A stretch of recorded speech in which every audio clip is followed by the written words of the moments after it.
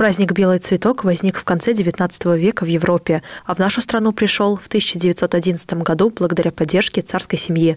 Тогда в акции приняли участие 104 города России, собрали около полумиллиона на строительство санаториев для туберкулезных больных. За букетик белых ромашек или маргариток каждый давал сколько мог, от нескольких копеек до десятков, сотен и даже тысяч рублей. В Первую мировую войну продавали букетики цветов, чтобы собрать средства для русской армии. В Сарове благотворительная акция «Белый цветок» «Восток» проходит с 2014 года. Сборы проводят в пользу саровских семей с детьми-инвалидами и участников СВО. Организационные моменты берет на себя православное творческое объединение «Мир» и мы, волонтерский центр «Радость моя».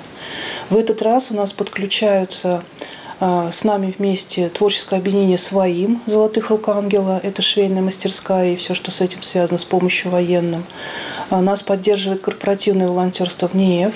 То есть они тоже участвуют, ищут резерв какие-то там и так далее. Символом праздника, как и сто лет назад, остается белый цветок, который раздают всем, кто сделает посильные пожертвования. Акция пройдет в день и ночи в музее около культурно-просветительского центра Саровского благочиния на Мира 50. Горожан ждут мастер-классы по изготовлению армейского сухого душа для бойцов, маскировочных сетей. Все желающие научатся перевязывать раненых. Этому обучат волонтеры из Саровского медколледжа. Будет обязательно гитарник, песни у костра.